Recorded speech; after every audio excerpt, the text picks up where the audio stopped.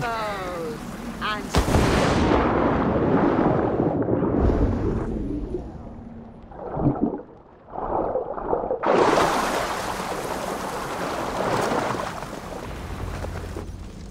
Sweat and blood, death and birth. Turn this man from beast to earth. Modron! Stay your blade! Or die at my hand. I should have known Cynon wouldn't have it in him to quarter you for the dogs. It's a cold bitch who throws her lover to the wolves for her own crimes. You understand so little. No matter. Let me enlighten you with the fury of the gods.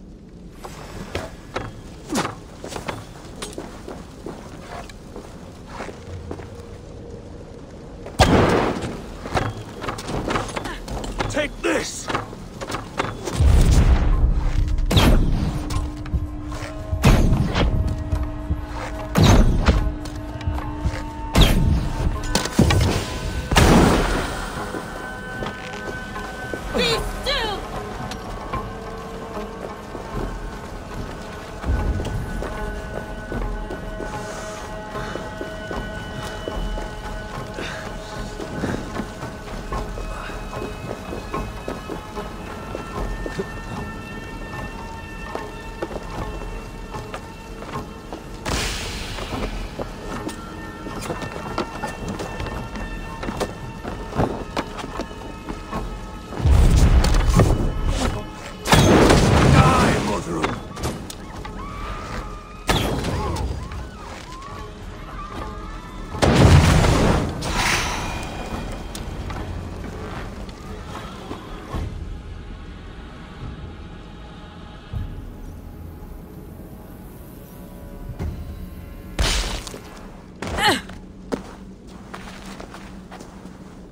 Do it then.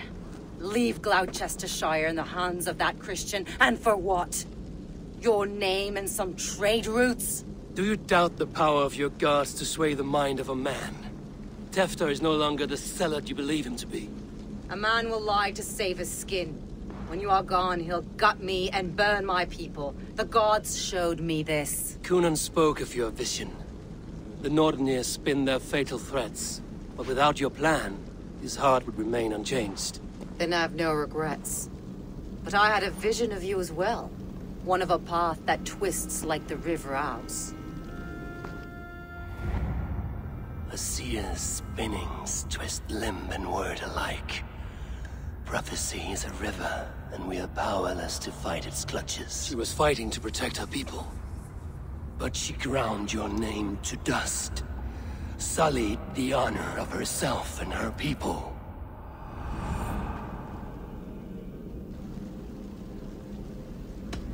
I cut my own path. Ah!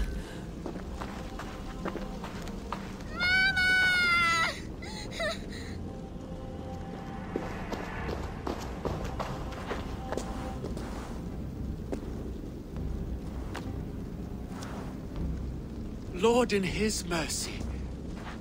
What sorcery happened here? The High Priestess Modron tried to kill you. Why? In God's name, I've done nothing to her. She feared the Church would use you as God's hammer, so she convinced Cynon to have you killed.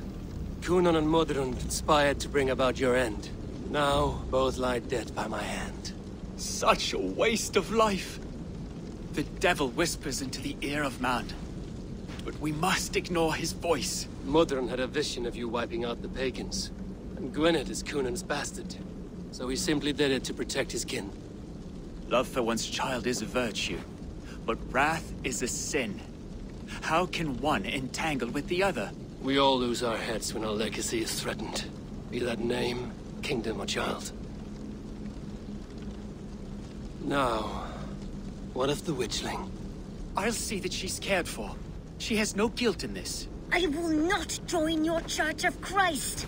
You won't have to.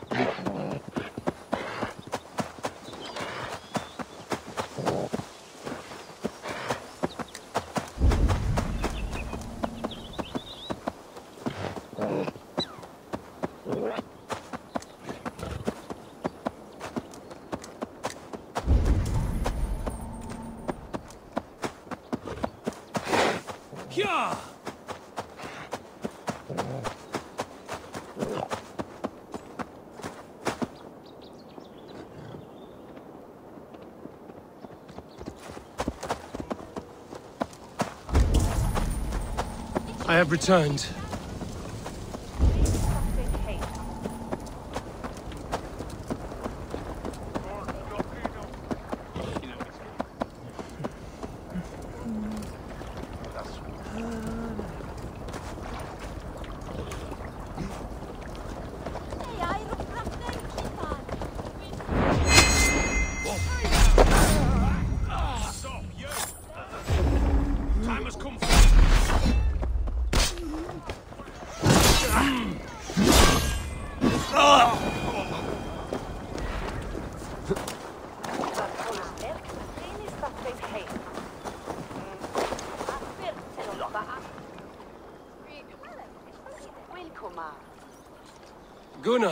It's good to see a face I trust. Even your frightful mug. I thought this could be our shared saga, but it is time to leave. We have spent naught but a drink together.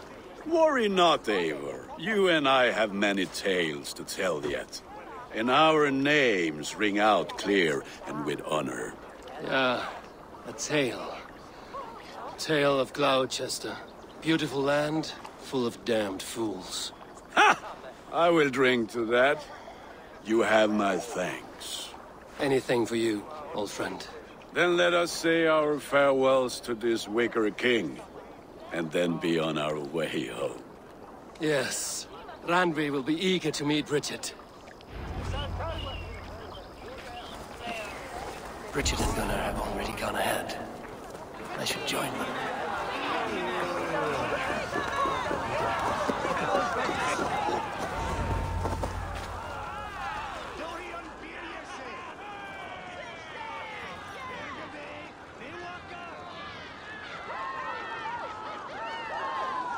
Burning of the Harvest King.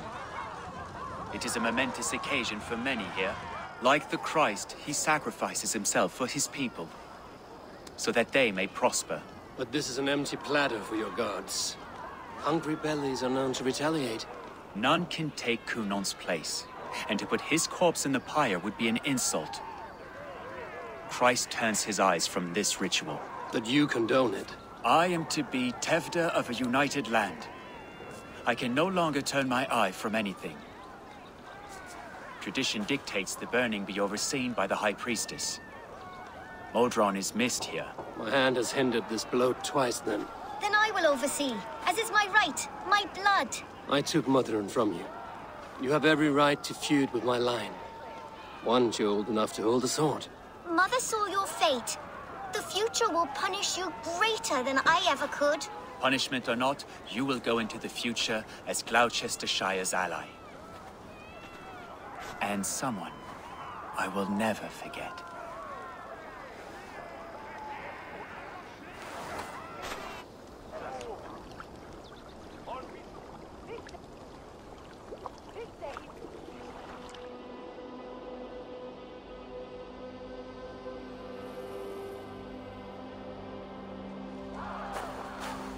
The flame be set.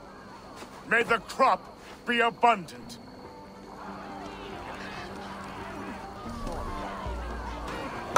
Eivor, the honor is yours. Praise the Harvest King!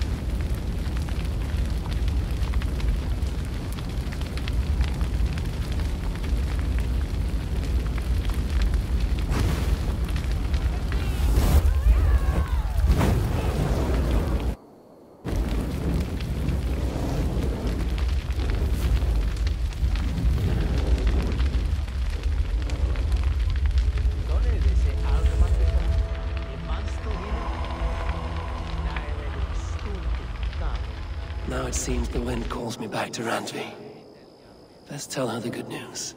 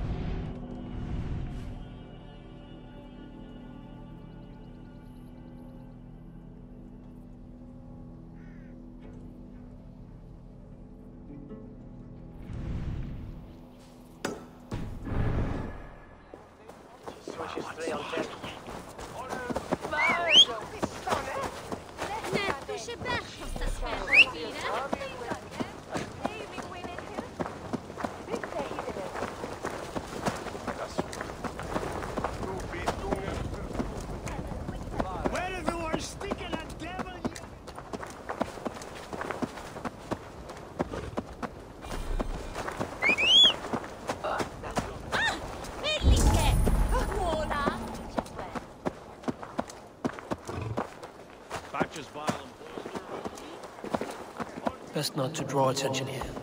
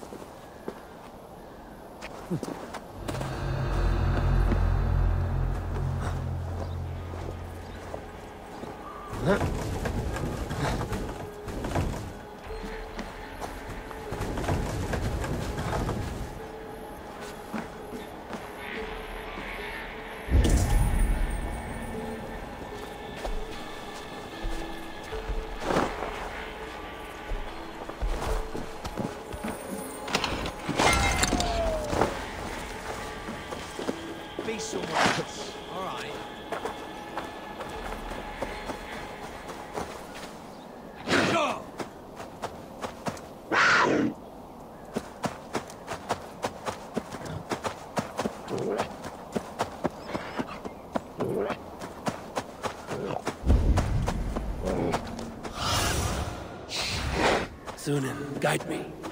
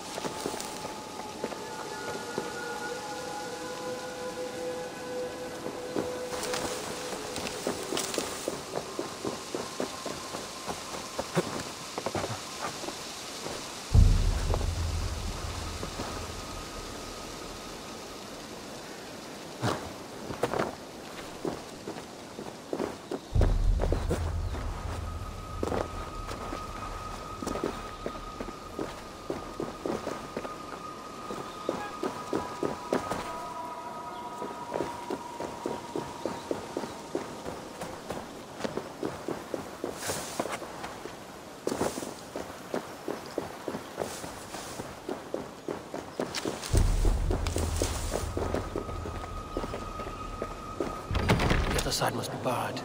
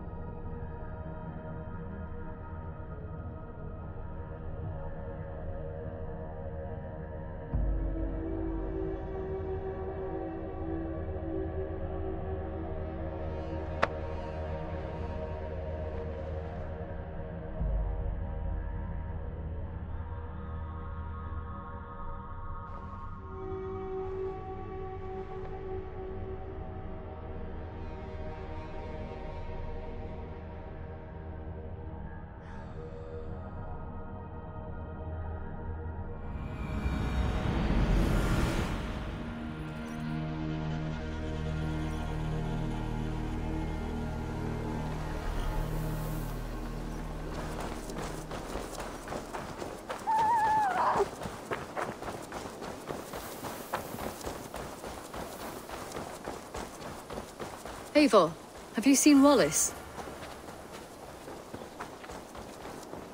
It was rubbish. You had discarded it. It was not... Randvi, what is this? Another dispute, I'm afraid, with Holger stirring the pot once again. Will you set in judgment? Judgments are the burden of a Jarl. This is Sigurd's duty now. He refuses to leave his quarters. Right now, you are the only noble fit for this. I don't know. It is not my place. Please. Only until Sigurd recovers his strength. All right. Once more. Gudrun, Holger, come forward. You will state your cases, and I will hear you out and be as swift in my judgment as I am able. Gudrun, you may speak. I have been robbed, Eivor. My property defaced. Three days ago, I discovered some of my sailcloth missing.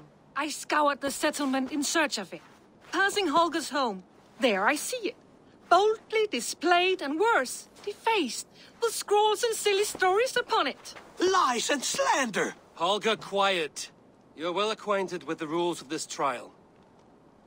Now, Gudrun, what did you do upon discovering your sailcloth? I confronted him, demanding silver. For sil with Holger's inky scratching cannot be sold or bartered, can it? I ask only that I be paid for the property that was taken from me, yet he refuses. So Holger took something that belonged to you and defaced it. Now you wish to be paid for the item. Do I understand? That is right. Holger, what say you in your defense? Short days ago, I found a pile of mildew-stained detritus beneath the docks, and salvaged what I could. I wish to use it as a canvas, you see? As a conveyance for my latest works. The sailcloth was in such a state, and so obscured from view, I assumed it was refuse, abandoned goods. I see. My motives were honest, Eivor. Would a thief be so brazen as to display the fruits of his crime? Hardly. Yet here she claims I have robbed and defaced her property, when all I took was rubbish left by to rot. Nonsense. My only crime here is that I gave something ugly and decrepit a bold new life. I see. So you feel Gudrun disposed of something and now unreasonably seeks its return. Exactly. Yes. All right, I have heard enough. I might have profited from that cloth. Holger has all but robbed me of a future boon. It was garbage. Yet now it's a part of something greater. If anything, I have increased its value. You ought to thank me. Oh, I will thank you with the back of my... Quiet! Let me speak.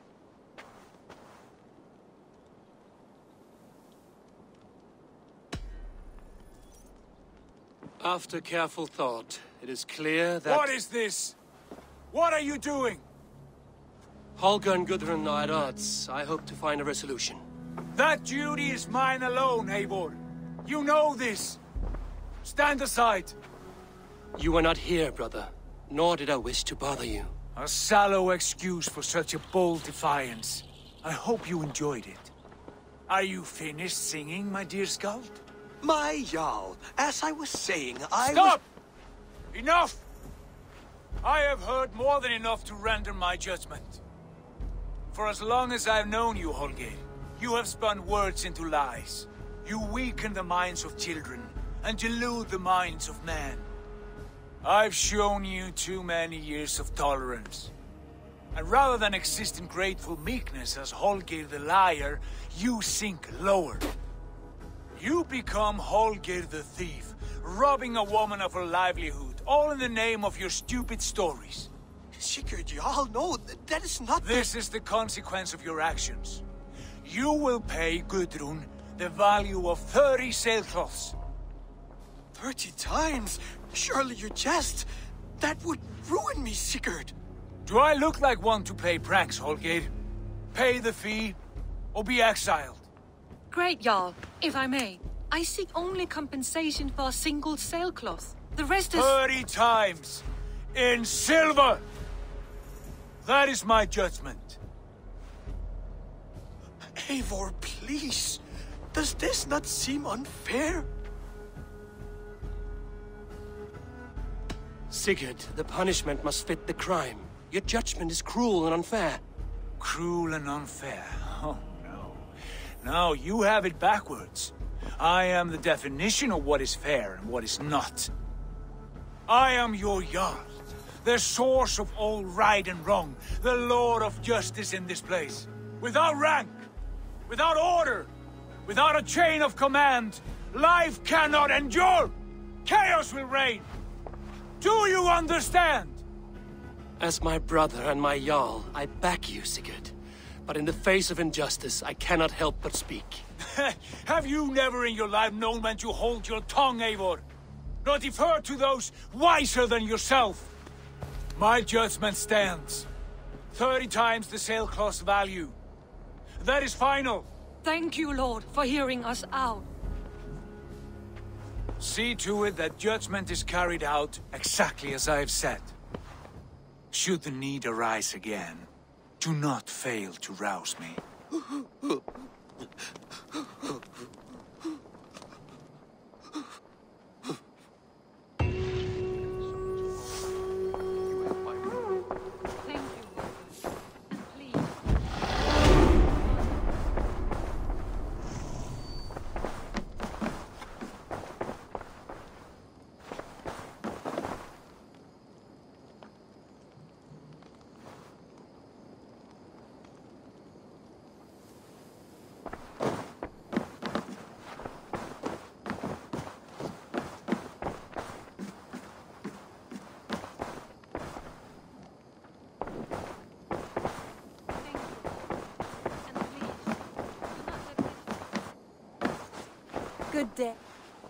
I want to thank you for your judgment, Eivor.